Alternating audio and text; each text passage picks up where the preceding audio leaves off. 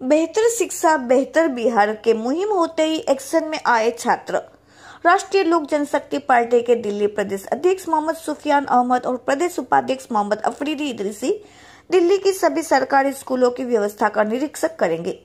छात्र राष्ट्रीय लोक जनशक्ति पार्टी के छात्र नेता सरदार वल्लभ भाई पटेल सरकारी स्कूल को देखेंगे। व्यवस्था का क्या कमी है? पानी की सुविधा उपलब्ध है या नहीं? शौचालय की व्यवस्था सही है या नहीं? यह सब देखने का काम करेंगे। और भी कोई कमी नज़र आई तो उसे सरकार तक पहुँचाने का काम करेंगे।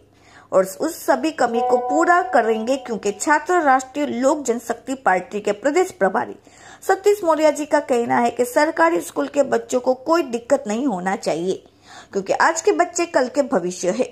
साउथ दिल्ली तुगलकाबाद सरकारी स्कूल सरदार वल्लभ भाई पटेल का देख रेख करेंगे। रोलोसपा के प्रदेश सचिव विमल कुमार और प्रदेश महासचिव सहित रजक सहित दूसरी तरफ़ संगम, बिहार, निम चौक, सर्वोदय, कन्या महाविद्यालय का देखरेख करेंगे और वहाँ की व्यवस्था को सही करने की ज़िम्मेदारी मिली। रोलोचपा के अंकित महाजन और लक्ष्य सिंह महासचिव के निगरानी में होगी।